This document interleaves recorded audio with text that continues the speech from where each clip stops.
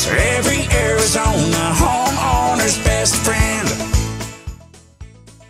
Some of the hardest people to communicate with are the ones that. Uh, let's see. Think they don't need it. Well, I've, I've got the best this and I got the best that and I got solar and, you know, it, is, is it worth getting an energy audit in that situation? 100%. So I'll tell you this a large percentage of our overall customers already have solar.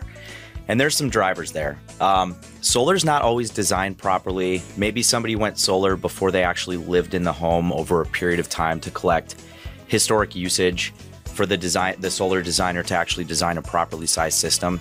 And then on top of that, APS has made some changes that impact customers that already have solar. So if you've still got a remaining bill, or you've got uncomfortable areas in your home, or you've got indoor air quality, massive dust, you should still have an energy audit done because at, at the end of the day, if you make your home more energy efficient and you have solar, your solar just goes further and you're more comfortable in your home. Rosie on the house, every Arizona friend.